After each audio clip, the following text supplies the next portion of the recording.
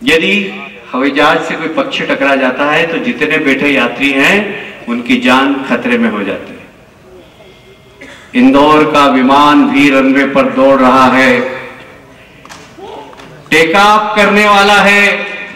कोई गलत कबूतर आकर टकरा गया तो पूरे इंदौर के लोगों की जान खतरे में पड़ जाएगी। पूछना चाहता हूँ। कि आप सब इंदौर के प्रतिष्ठित नागरिक आज यहाँ पर बैठे हुए हैं। पिछले 20 वर्षों में इंदौर ने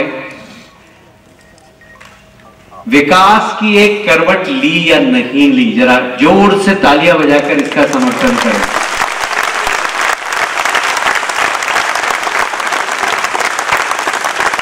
ये विकास की यात्रा आगे बढ़ना चाहिए या नहीं बढ़ना चाहिए, मैं आपसे पूछना चाहता हूँ, बढ़ना चाहिए कि नहीं बढ़ना चाहिए?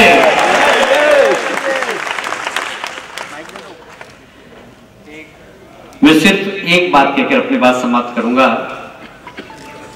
हमने इंदौर को बहुत आपके आशीर्वाद से खून पसीने से सींचा। है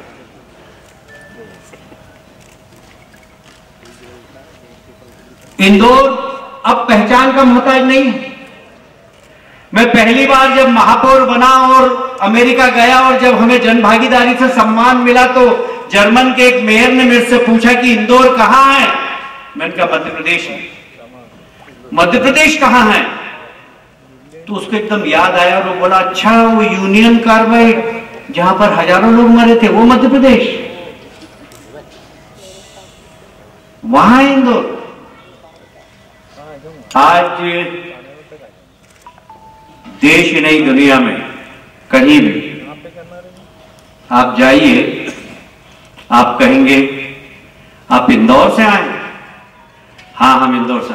अच्छा वो देश का सबसे सुंदर और साफ़ शहर।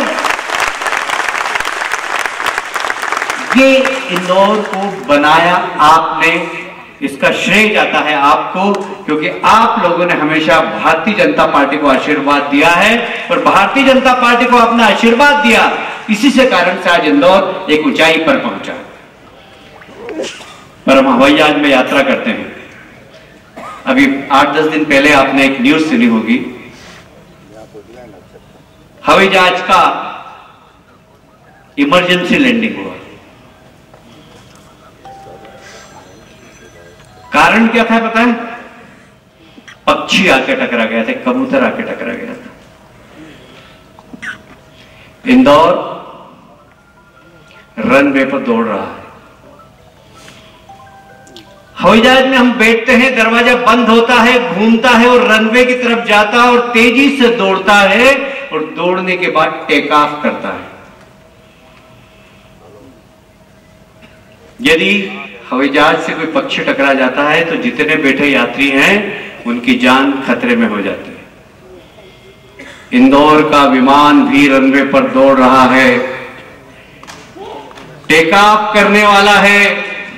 कोई गलत कबूतर आकर टकरा गया तो पूरे इंदौर के लोगों की जान खतरे में पड़ जाएगी।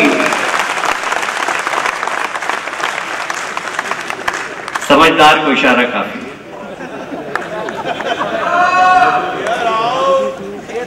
भैया राव।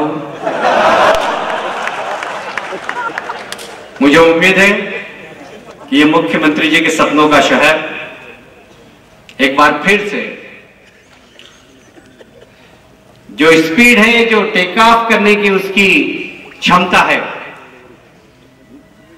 वह आपके आशीर्वाद से एक बार फिर से इंदौर ऊँचा उड़े इतना ऊँचा उड़े कि लोग कहें, देश ही नहीं दुनिया के, कि हम हमारा शहर इंदौर जैसा बनाना चाहते हैं। बहुत बहुत धन्यवाद।